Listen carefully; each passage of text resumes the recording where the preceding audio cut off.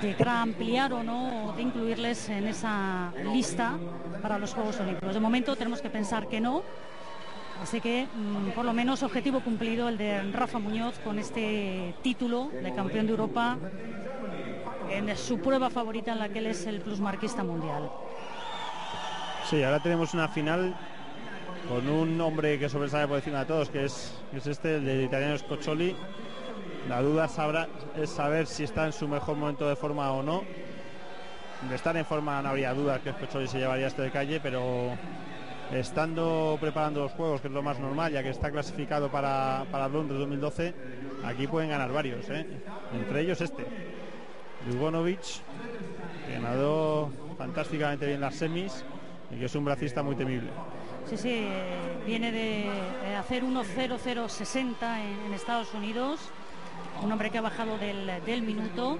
Escocholi la verdad que ha nadado poco este año, eh, tan solo en, en febrero nadó por encima del 1-1 en, Milán y poco más le hemos visto a Fabio Scoccioli que como decía Javier en Shanghái en calidad de medallista eh, se aseguró su presencia en Londres. El criterio de la técnico italiano es así.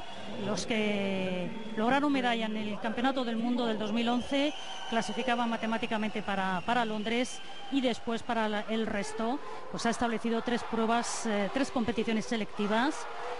Eh, la primera, esos nacionales de Riccioni, donde tan solo tres nadadores lograron la mínima, entre ellas Alessia Filippi, este europeo que todavía no ha deparado ninguna mínima, y el Siete Colinas, a mediados de junio que va a cerrar ya eh, la configuración definitiva del equipo olímpico italiano, donde de momento solo hay seis nadadores clasificados, los tres de Shanghái y los tres de, de Riccioni. Lo normal es que Scoccioli con su potente salida aproveche para pasar en el primer 50. Le veremos en la calle 3 como lo normal es que vaya primero. Ahí le vemos, destacado, tiene de las mejores salidas del mundo, junto con el sudafricano Cameron, Van der Burg, yo creo que son las dos mejores salidas del mundo. Es muy importante, estilos como la braza, mariposa, bueno, en todos es importante salir bien, pero en la braza una buena salida, un buen viraje te da muchísima ventaja. Y ayer vimos cómo se quedó fuera de las semifinales el marquista europeo Hughes Tibox.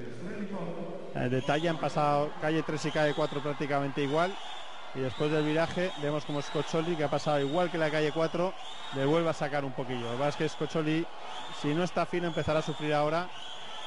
Y Dubonjic es un nadador que progresa muy bien en los últimos metros. Bueno, pues muy igualada la final. Ahí tiene por la calle 8 a Valeri Dimo. Pues, Scoccioli, Dimo, Scoccioli yo creo, sí. Scoccioli 1-0-0.